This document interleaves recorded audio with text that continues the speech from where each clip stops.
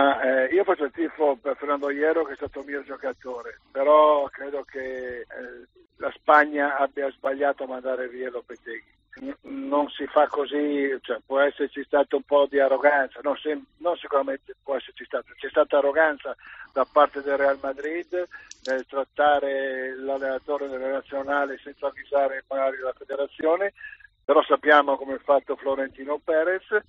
però la federazione ha sbagliato ad esonerare l'allenatore.